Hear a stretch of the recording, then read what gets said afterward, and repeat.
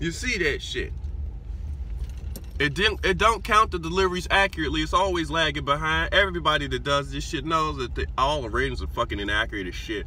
Most of it don't mean shit anyway, and they don't give a fuck about us. So you're gonna get to hear come through my car stereo. My car stereo is pretty fucking loud. All of the call call you get to hear, ver fucking beta. So I am now, as an employee for this shit ass place, I now have to call them. This is why I tell people, don't call DoorDash for shit. They don't care. I wonder if we're gonna hear Rooster in the background, straight up and down. So, emergency something else. I have an emergency. We get to the, is this the right form? Yeah, we get to the call DoorDash shit. We actually get it to let us call DoorDash. Yeah, you're going through the phone. Thank you for calling DoorDash. To continue in English, press 1.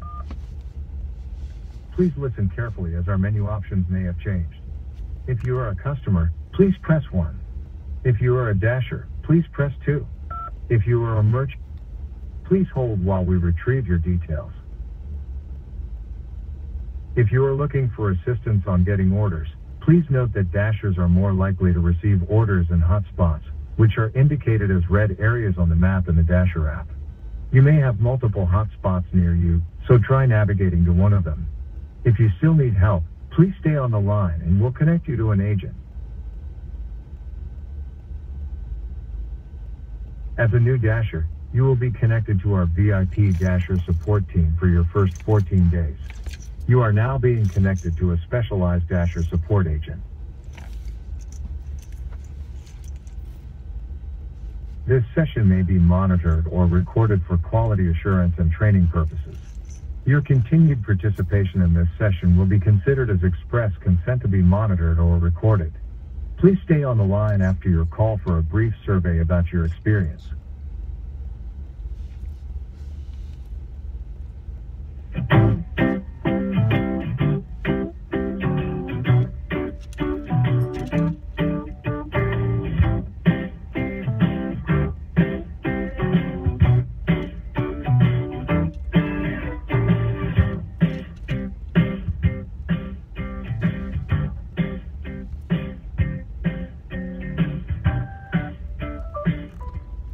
Forget, I'm a new dasher. I'm brand fucking new, y'all. I ain't been doing this shit since fucking March of 2021. I'm new.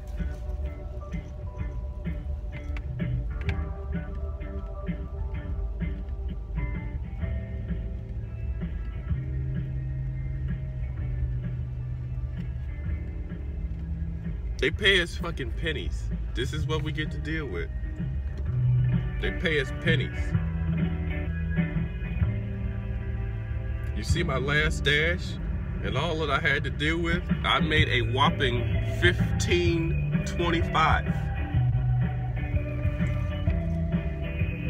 This is why you don't call DoorDash. This is why you never reach out. This is why you either handle it yourself or take the loss and just say, fuck it. Because look at all this shit that you got to go through for $15.25 total for 40 for 40 minutes, but I'm active actually all the time. Hello, welcome to DoorDash Support. How can I help you? Um, yes, I'd like to report some sort of grievance with the with the um last order that I got. The delivery to um it was a Taco Bell double order. The last delivery was to an Emily. Emily, yeah. Yeah. They make they they left they left very specific uh instructions in the fuck in the um in the comment section of for the delivery. Mm-hmm. And after actually getting into the building, which it took a good 20 minutes to actually gain access to their building. Once I actually got in and got them their uh, food dropped off in front of their door, what they said was going to be at their door was not there. Okay, so one. So the so not only was the delivery not worth it, I should have unassigned, but then I actually dealt with all of what I was asked to do. And how am I repaid? With nothing. And then I sent the lady a message and said I will report this delivery. And she wants to act like she don't know what she did. I took a picture of the entire surroundings as I walked up before I put the food down. And after, there was nothing there. My problem is why does DoorDash constantly allow customers to treat their drivers like this? I did my job. I actually got inside their building. It's an apartment building. Normally, I don't take apartment buildings because of this reason. You got to fight with their door codes. They don't put their address on the delivery property. The building has a giant number on it, and they refuse to write the number down for us to make it easy. So we go through all this for four dollars. It's what's the temperature today? It's 22 degrees. 22 degrees outside, and you see it says it's snowing in my area. Because I'm recording the conversation too, so people can see that this is unfair of how delivery drivers are treated.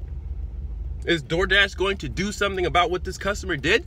Are you even going to say anything to the customer? Hey, don't do that?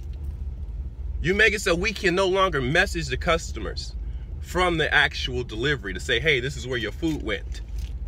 But then they get mad at us and they rate us down. But you guys don't care. We go to.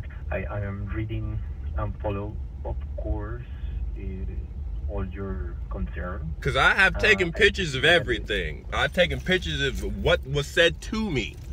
And then I took pictures of the door where I placed the food. Okay, so uh, let me read that your offer was dropped off. Please refer to this photo your dasher. Oh, and can I ask why I'm called a new dasher when I've made over 2,500 deliveries? It's kind of maddening. Every time I call you guys, or if I manage to actually be able to call you guys, it tells me I'm a new dasher. I've been dashing since March of 2021. How am I new? No, I'm not sure I didn't set. Not you, the system, the recording. It should like it, somebody should fix it to where it doesn't say that I'm new.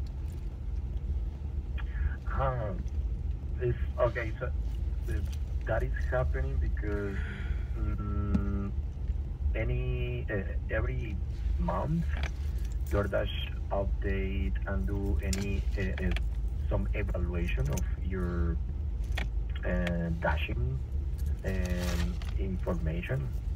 Um, it's like update each year and each month.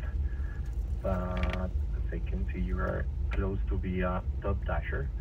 And the other see the other thing that I am seeing is your interaction with the customer. Thank you so much for letting him know. As I can see, the 1002 door has a picture submitted as a drop it off order. He didn't do any complaints uh, on this order and I'm going to leave the basically the feedback. Okay, let me check some go to back door from parking deck, call 1002 uh, twice to open the door, elevator to 10th floor, turn left.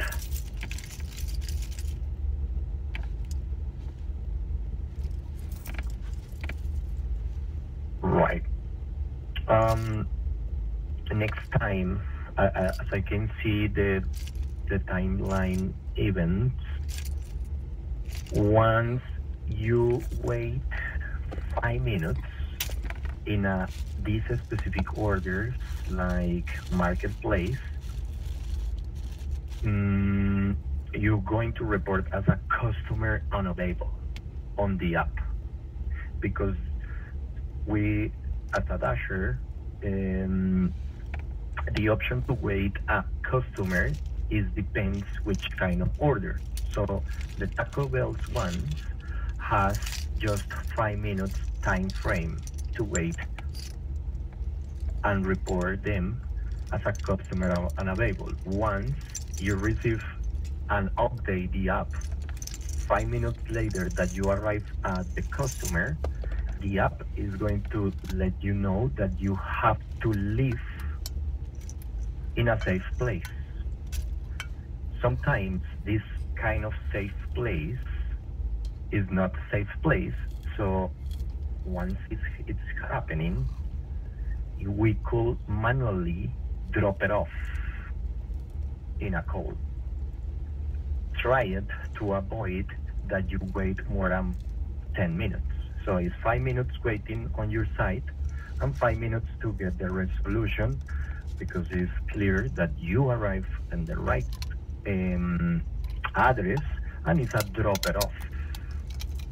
And you cannot wait more than 10 minutes in a Taco Bell's order for next time. Now, mm, I leave the feedback on the Emily M customer uh, with the situation, Daniel. Okay. Mm, what else? Okay, let me check the last. Okay, I'm sorry if there was any trouble. Thank you for the delivery. And he left. He left the tip. Do you know. Uh, she left the the tip on the door. No. There was nothing there. Nothing. Got you. Okay, let me add that comment because actually is one of those very specific things that she provide on wow it's not fair. Okay i understand. That basically she she has the no, this note that the code so now you have the key. The key is you arrived in a drop it off order wait five minutes click on customer unavailable then those reports go through our system and our system is provided that you have to live in a safe safe place next time to try to avoid this inconvenience to go through a, a knowledge building and get more time on you. Uh,